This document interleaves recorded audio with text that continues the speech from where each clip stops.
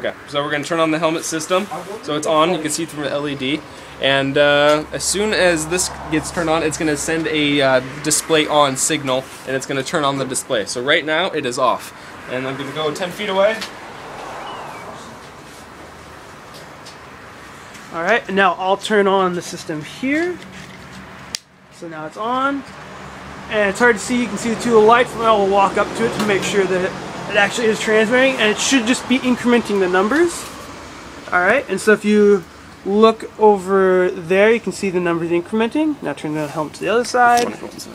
Oh, we'll even go inside, I guess. Um, yeah, and then those numbers are incrementing as well.